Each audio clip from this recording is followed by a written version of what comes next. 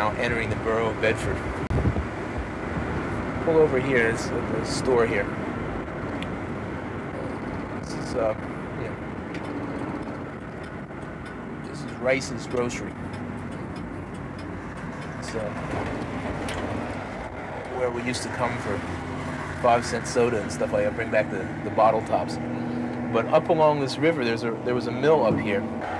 A mill where the story was slaves had hidden under the mill wheel in the water, which I guess got a little chilly in the wintertime, uh, waiting before, you know, until it was safe to, to head on. There was a town up here called Fishertown, it's still there. It's a Quaker settlement, and that was a haven.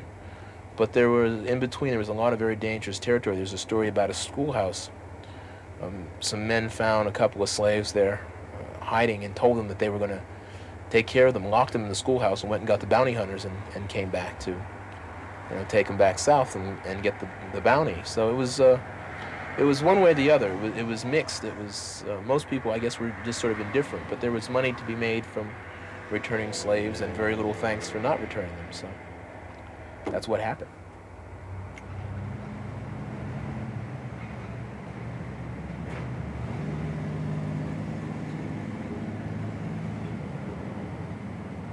The Chaneysville incident itself, the incident, is the story of 13 slaves who were coming north in the Underground Railroad.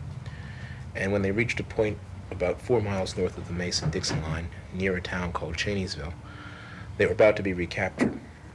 At this point, the legend has it that they asked to be shot rather than return to slavery. But the way I've reconstructed it, they killed themselves, and that's something I think is more in line with, you know, historical fact and my mother, who had gotten involved in local history for various reasons, came across this story, tracked it down, and, and called me up and, and told me about it. My mother actually discovered the story a place further, about eight miles further east. Uh, old guy owned a store and told her the story, and she managed to track it down here, you know. And uh, the man who owned who owned the land at that time lived over over here in his farmhouse, and he had never heard the story, or, or said he hadn't. Uh, he didn't remember. But he knew that up there somewhere, uh, next to his family graveyard, there were these graves, and nobody knew who they were. They were obviously distinct from, from anything that was there. And he knew that there were black people, slaves buried there. But I'll never forget the first time we came here, I came here. He got in the car and took us up as far as you could go, and we walked up over the hill. And, and we were, you know, his, he told us that his wife, um, had come from Maryland, that her people had owned slaves. Um, and he said, um, I don't know what they were running from. It must have been terrible. What I set out to do is to try to figure out what it was that 13 people, not just one person, but 13 people, would rather die than do. I didn't understand what it was these people must have been escaping. And you think, well, physical horror. Okay, well, for many, many slaves, slavery physically was not that bad. Then you think mental horror. You think of not having any freedom, not being able to make your own decisions. Uh, okay, that's, that's, that's pretty bad, but people have lived through that. And then I began to realize that there was, there was something even more. It was a spiritual deprivation. These were people who came from a kind of religious tradition that we don't share anymore. And in that tradition, uh, ghosts, if we want to call them ghosts, were very real things. They were palpable. One's family and friends, when they died, experienced this physical thing called death. They didn't go anywhere. I mean, they didn't go to heaven. They stayed right around the corner. And Africans still believe that you see these people, that you talk to them, you have conversations, that they visit you, not in dreams, not like Marley's ghost, but they're right there. You know, you have the same kind of conversations with them.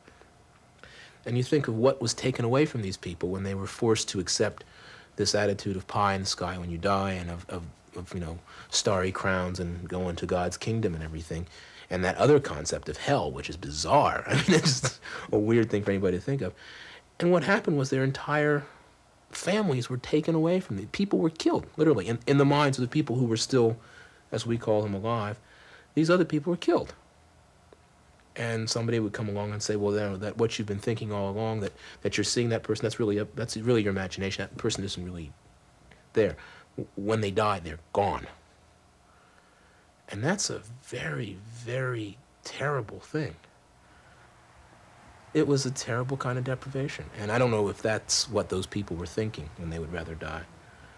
But when you realize how deep slavery went, what slavery really meant not just mental deprivation or even physical pain, but that kind of spiritual destruction.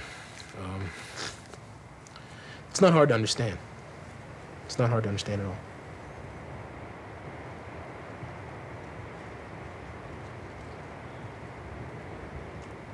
He knew then that they were watching him, all of them, waiting for him to lead them. It came to him then that there was always escape, always, so long as one did not think too much, so long as one did not calculate too much, so long as one believed. And so he stepped away and stood alone, and took the pistol from his belt and held it high so they could all see. For a moment he was not sure that he could lead them, was not sure that they would follow him. But then he saw the woman take her knife from beneath her shawl and hold it high, and then he heard her, heard her singing softly, then louder heard the others join in, the words of the song growing, rising from the hilltop, floating down the incline, the words sharp and clear against the night. And before I'll be a slave, I'll be buried in my grave and go home to my God and be free. For a chorus or two or three, the song was loud and strong. And then the song grew weaker, the voices that had raised it falling silent one by one, until at last there was only one voice, a strong soprano voice carrying the song. And then that voice too fell silent. But the song went on, because the wind had shifted again and was blowing from the west, because now the wind sang.